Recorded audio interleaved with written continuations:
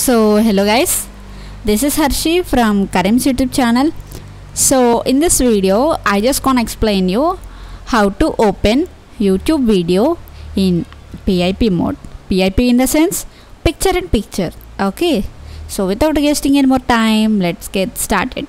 So firstly, you need to click on this icon and click on website settings.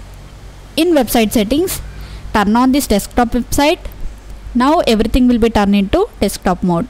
Now play the youtube video in full screen of your image and click on playing option. Now here you can see a icon. Just tap on it and boom the video will be appear in picture in picture mode. So this is how you can enable picture in picture mode in safari so if you want to drag it from top or bottom or side or left side so thank you for watching